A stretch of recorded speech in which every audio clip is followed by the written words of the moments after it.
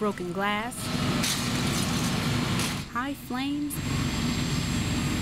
and dozens of emergency vehicles here on Big Cynthiana Road in Vanderburgh County. It's a mobile home.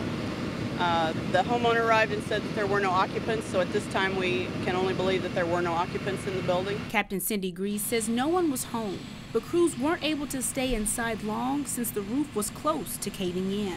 Advised that there was a possible collapse, so they everyone exited the building. Uh, that's always an you know a possibility with any structure fire. German Township says it called in extra help. Other units brought water tankers to park closer to the home. The flames were easily 30, 35 feet above the house.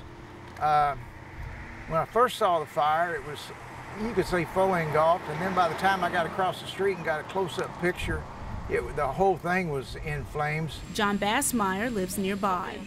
I just felt so helpless. I don't know what the deputies felt like, but here you're watching this house, it's, it's already total loss, but you're just standing there watching it.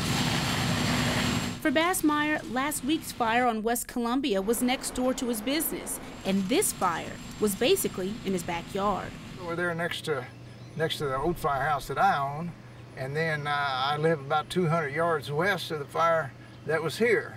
And I hope that's the extent of my fire experiences for this year.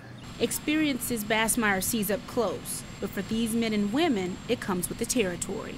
In Vanderburgh County, Tabney Dozier, Eyewitness News.